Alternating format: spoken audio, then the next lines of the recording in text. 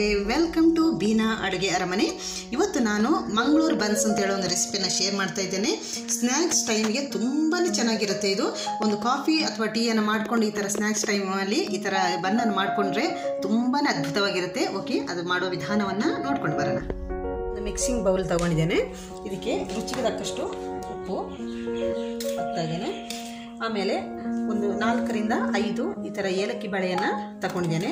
ಪಚ್ಚೆ ಬಾಳೆಹಣ್ಣು ಅಥವಾ ಸ್ವೀಟ್ ಬಾಳೆಹಣ್ಣು ಯಾವುದಾದ್ರೂ ತಗೋಬೋದು. ದೊಡ್ಡ ಬಾಳೆಹಣ್ಣು ಆದರೆ ಒಂದು ಎರಡು ಬಾಳೆಹಣ್ಣು ತಗೋಬೋದು. ನಾನು ಚಿಕ್ಕ ಬಾಳೆಹಣ್ಣು ಆದ್ದರಿಂದ ಒಂದು ನಾಲ್ಕರಿಂದ ಐದು ಬಾಳೆಹಣ್ಣು ತಗೊಂಡು ಈ ಥರ ಸ್ಮ್ಯಾಶ್ ಮಾಡ್ತಾಯಿದ್ದೀನಿ ಇದನ್ನು ಮಿಕ್ಸಿಯಲ್ಲಿ ಕೂಡ ನೀವು ಗ್ರೈಂಡ್ ಮಾಡ್ಕೋಬೋದು.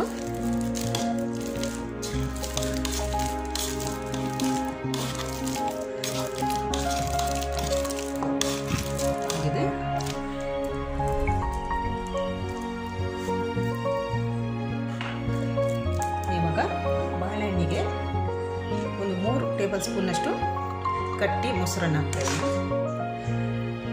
ಹುಳಿ ಮೊಸರು ಅಥವಾ ಮಾಮೂಲಿ ರೆಗ್ಯುಲರ್ ಆಗಿ ನೀವು ಮನೆಯಲ್ಲಿ ಮೊಸರನ್ನು ಹಾಕೋಬೋದು.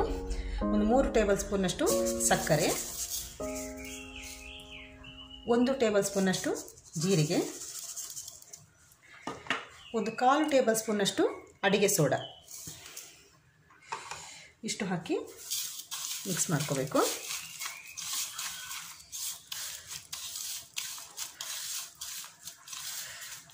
ನಿಮಗೆ ಸ್ವೀಟ್ ಬೇಕು ಅಂತಾದರೆ ಒಂದು ಸ್ಪೂನ್ ಎಕ್ಸ್ಟ್ರಾ ಬೇಕಾದರೂ ಹಾಕೋಬೋದು ನಾನು ಲೈಟ್ ಸ್ವೀಟ್ ಅಳತೆಯಲ್ಲಿ ಹಾಕ್ತಾ ಇದ್ದೇನೆ.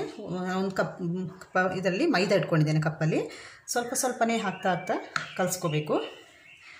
ಮೈದಾವನ್ನು ನಾವು ಎಷ್ಟು ಅಂತ ಹೇಳಲಿಕ್ಕಾಗಲ್ಲ, ನೋಡಿಕೊಂಡು ನೋಡಿಕೊಂಡು ಸ್ವಲ್ಪ ಮೆದು ಹದದಲ್ಲಿ ಕಲಿಸ್ಕೋಬೇಕು. ನಾವು ಚಪಾತಿಗಿಂತ ಮೆದು ಇರಬೇಕಿದು.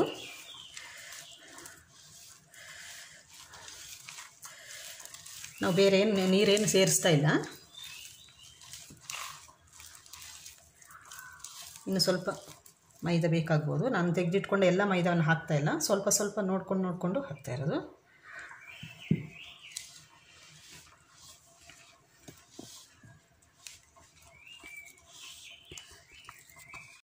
ಇವಾಗ ನೋಡಿ, ಈ ಹದದಲ್ಲಿ ಇರಬೇಕು ಇಷ್ಟು ಮೆತ್ತಗೆ.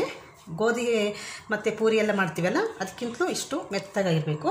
ಇದಕ್ಕೆ ಒಂದು ಟೇಬಲ್ ಸ್ಪೂನಷ್ಟು ತುಪ್ಪ ಹಾಕ್ತಾಯಿದ್ದೇನೆ ತುಪ್ಪ ಹಾಕಿ ಒಂದು ಸ್ವಲ್ಪ ಎಲ್ಲ ಕಡೆ ಹೊಂದ್ಕೊಳ್ಳೋ ಹಾಗೆ ಈ ಥರ ಮಿಕ್ಸ್ ಮಾಡಿ ಇಟ್ಕೊಳ್ತಿದ್ದೀನಿ. ಇವಾಗ ಇದನ್ನು ಒಂದರ ಮಿನಿಮಮ್ ನಾಲ್ಕರಿಂದ ಐದು ಗಂಟೆಗಳಾದರೂ ಇಡಬೇಕು. ಇಲ್ಲಾಂದರೆ ನೀವು ನಾಲ್ಕು ಗಂಟೆ ಸ್ನ್ಯಾಕ್ಸ್ ಟೈಮಿಗೆ ಮಾಡೋದಾದರೆ ಬೆಳಿಗ್ಗೆ ಒಂದು ಒಂಬತ್ತು ಹತ್ತು ಗಂಟೆಗೆಲ್ಲ ಕಲಸಿ ಇಟ್ಕೊಂಡ್ರೆ ಏಳರಿಂದ ಎಂಟರಿಂದ ಒಂಬತ್ತು ಗಂಟೆ ಜಾಸ್ತಿ ಎಷ್ಟೊತ್ತು ಇಡ್ತೀರೋ ಅಷ್ಟೊತ್ತು ಸಾಫ್ಟಾಗಿ ಬರುತ್ತೆ. ಇವಾಗ ನಾನು ಇವಾಗ ಬೆಳಿಗ್ಗೆ ಕಲಸಿಟ್ಕೊಳ್ತಾ ಇದ್ದೀನಿ. ಇನ್ನು ನಾಲ್ಕು ಗಂಟೆ ಆಗುವಾಗ ಒಂದು ಎಂಟರಿಂದ ಒಂಬತ್ತು ಗಂಟೆ ಆದರೂ ಇದನ್ನು ನೆನೆಯಲಿಕ್ಕೆ ಬಿಟ್ಕೋಬೇಕು. ಓಕೆ, ಇವಾಗ ಇದನ್ನು ಮುಚ್ಚಿಟ್ಕೋತಾ ಇದ್ದೀನಿ.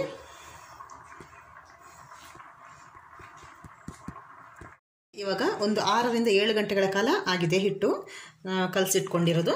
ಓಕೆ, ನೋಡಿ ಸ್ವಲ್ಪ, ಇನ್ನೂ ಸ್ವಲ್ಪ ಮೆದುವಾಗಿದೆ. ಇವಾಗ ನಾವು ಸ್ವಲ್ಪ ಹುಡಿಯನ್ನು ಹಾಕ್ಕೋಬೇಕು, ಮೈದಾ ಹುಡಿಯನ್ನು ಹಾಕಿ. ಸ್ವಲ್ಪ ಮೈದಾ ಹುಡಿಯನ್ನು ಈ ಥರ ಹಾಕ್ಕೊಂಡು ಈ ಥರ ಸ್ವಲ್ಪ, ಇನ್ನು ಸ್ವಲ್ಪ ಹಾಕ್ಕೊಳ್ತಾ ಇದ್ದೀನಿ. ಇದನ್ನು ಇವಾಗ ಉಂಡೆಗಳನ್ನು ಮಾಡಿ ಲಟ್ಟಿಸ್ಕೋಬೇಕು. ಸ್ವಲ್ಪ ಹಾಕ್ತಾಯಿದ್ದೀನಿ ಇಷ್ಟು.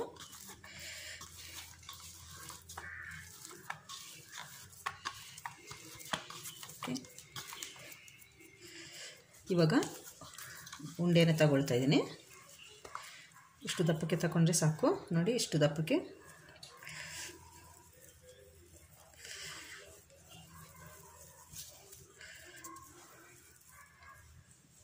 ಇಷ್ಟು ಈ ಥರ ತಗೊಂಡು ಒಂದು ತಟ್ಟೆಯಲ್ಲಿ ಮೈದಾ ಹುಡಿಯನ್ನು ಇಟ್ಕೊಂಡು ಸ್ವಲ್ಪ ಲೈಟಾಗಿ ಮೆಲ್ಲ ಈ ಥರ ಪ್ರೆಸ್ ಮಾಡ್ಕೋಬೇಕು. ಎರಡು ಬದಿಯಲ್ಲಿ. ಆಗ ಈ ಥರ ಚಪಾತಿಯನ್ನು ಲಟ್ಟಿಸುವ ಮಣೆ ಇದೆಲ್ಲ ತಗೊಂಡು ಸ್ವಲ್ಪ ಮೈದಾ ಹುಡಿಯನ್ನು ಹಾಕೋಬೇಕು. ನಾವು ಮಾಡಿಟ್ಕೊಂಡ ಹಿಟ್ಟನ್ನು ಈ ಥರ ಪ್ರೆಸ್ ಮಾಡ್ಕೋಬೇಕು. ಸ್ವಲ್ಪ ಲಟ್ಟಿಸಿದರೆ ಸಾಕು. ಸ್ವಲ್ಪ ದಪ್ಪಕ್ಕಿರಬೇಕಿದು. ಇಷ್ಟೇ ಇಷ್ಟೇ ಸಾಕು. ಈ ಸೈಜಲ್ಲಿದ್ದರೆ ಕರೆಕ್ಟ್ ಆಗುತ್ತೆ. ಓಕೆ? ಇದೇ ಥರ ಎಲ್ಲ ಉಂಡೆಗಳನ್ನು ನಾವು ಲಟ್ಟಿಸ್ಕೋಬೇಕು. ಓಕೆ? ಈ ಥರ ಲಟ್ಟಿಸಿಟ್ಕೊಂಡಿದ್ದೇನೆ. ನೋಡಿ, ದಪ್ಪ ಇಷ್ಟು ಇರಬೇಕು. ಇಷ್ಟು ದಪ್ಪಕ್ಕೆ ಇರಬೇಕು. ತುಂಬ ಸಾಫ್ಟ್ ಆಗಿದೆ. ನೋಡಿ, ನಾವು ಇವಾಗ ಲಟ್ಟಿಸಿ, ಹಿಟ್ಟನ್ನು ಕಲಸಿಟ್ಕೊಂಡಿದ್ದೇವಲ್ಲ ನೋಡಿ, ಸಾಫ್ಟ್ ಇದೆ. ಇವಾಗ ನಾವು ಎಣ್ಣೆ ಕಾಯಿಸ್ಕೊಂಡು ಇದನ್ನು ಕರಿಕೋಬೇಕು. Stove on ಮಾಡ್ಕೊಂಡಿದ್ದೇನೆ. ಇವಾಗ ಒಂದು ಬಾಣಲೆಯಲ್ಲಿ ಇಟ್ಕೊಂಡು ಕರೀಲಿಕ್ಕೆ ಎಷ್ಟು ಬೇಕೋ ಅಷ್ಟು ಎಣ್ಣೆ ಹಾಕ್ಕೊಂಡಿದ್ದೇನೆ ಎಣ್ಣೆ ಕಾದಿದೆ. ಇವಾಗ ಹಾಕ್ತಾ ಇದ್ದೇನೆ. ಲಟ್ಟಿಸಿರುವ ಬನ್ನನ್ನು ನೋಡಿ. ಹಾಕಿ ಒಂದು ಎರಡು ಸೆಕೆಂಡ್ ಆದಮೇಲೆ ಈ ಥರ ಎಣ್ಣೆಯನ್ನು ಮೇಲೆ ಹಾಕೋಬೇಕು. ನೋಡಿ, ಕಲರ್ ಚೇಂಜ್ ಆಗ್ತಿದೆ. ಇದನ್ನು ನೀವು ಒಂದ್ಸಲ ಎಣ್ಣೆ ಕಾದಮೇಲೆ ಮೀಡಿಯಮ್ ಫ್ಲೇಮಲ್ಲೇ ಇಟ್ಕೊಳ್ಳಿ. ಮೀಡಿಯಮ್ಗಿಂತ ಸ್ವಲ್ಪ ಸ್ವಲ್ಪ ಜಾಸ್ತಿ ಮಾಡ್ಕೊಳ್ಳಿ. ಒಂದೇ ಸಲ ಹೈ ಫ್ಲೇಮಲ್ಲಿ ಅಥವಾ ಮೀಡಿಯಮ್ ಫ್ಲೇಮಲ್ಲೇ ಇಟ್ಕೊಂಡ್ಬಿಟ್ರೆ ಇದು ಒಳಗ ಮೇಲ್ಗ ಭಾಗದಲ್ಲಿ ಹೊಂಬಣ್ಣ ಬರುತ್ತೆ, ಆದರೆ ಒಳಗಡೆ ಬೆಂದಿರೋದಿಲ್ಲ ಹಸಿ ಹಸಿಯಾಗಿರುತ್ತೆ ಸೊ ಹಾಗಾಗಿ ಸ್ಲೋವಲ್ಲೇ ಇದನ್ನು ಬೇಯಿಸ್ಕೋಬೇಕು. ಓಕೆ ನೋಡಿ. ಎಷ್ಟು ಚೆನ್ನಾಗಿ ಉಬ್ಬಿ ಬರ್ತಾ ಇದೆ. ಬೇಗ ಕೂಡ ಬೇಯುತ್ತೆ ಸ್ಲೋವಲ್ಲಿ ಇಟ್ಕೊಂಡು ಕಾಯಿಸ್ಕೊಂಡ್ರೆ, ನೋಡಿ.